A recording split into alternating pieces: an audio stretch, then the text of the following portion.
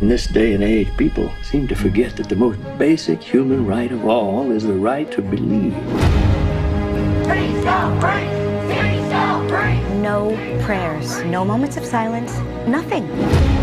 Think of the other children out there who are subjected to their repressive belief system. If we sit by and do nothing, the pressure that we're feeling today will mean persecution tomorrow. We're at war. What makes nonviolence so radical is its unwavering commitment to a nonviolent approach. Isn't that sort of like what Jesus meant when he said that we should love our enemies? Yes. You have heard it said, love your neighbor and hate your enemy. But I tell you, love your enemies and pray for those who persecute you. One of your students sent a text to their parents. Did this happen?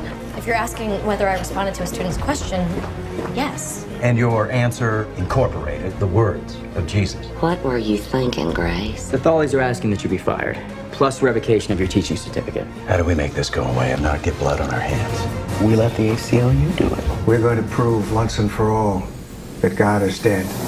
I'm the order in the matter of Thawley versus Wesley. Mr. Kane will insist faith isn't on trial here. But that is exactly what is on trial. You're looking to prove that Jesus Christ existed? Oh, that's ridiculous. I hate what people like your clients stand for and what they're doing to our society. You're under arrest. These people, they're looking to destroy you. Everyone's telling me to stay out of it. What is your heart telling you to do?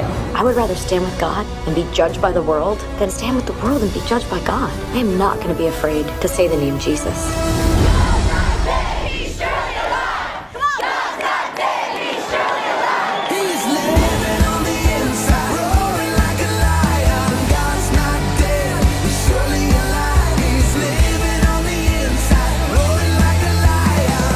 going to insist that a Christian's right to believe is subordinate to all other rights, then it's not a right. Mr. you are out of order. I charge you with contempt. I accept the charge because I have nothing but contempt for these proceedings. God's not dead. He's surely alive.